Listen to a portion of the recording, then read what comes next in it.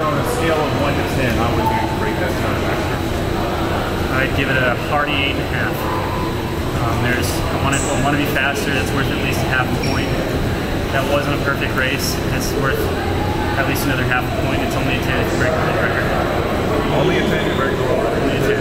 If you had won the race, would that have been a 9 and a half?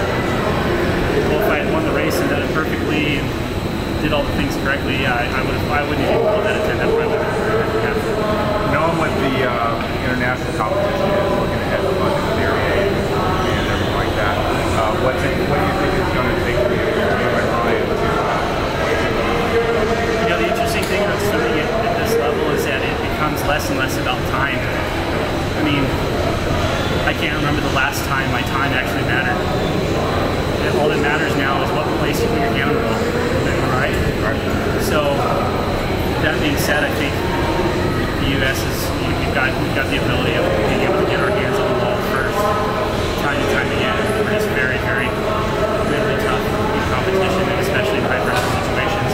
Ryan obviously is. I'm confident that I can be. and We've proven that in the past. I'm excited to see what happens. in 2020. With just two 200s to prepare for now before the Olympics, does it change your training over the next four weeks?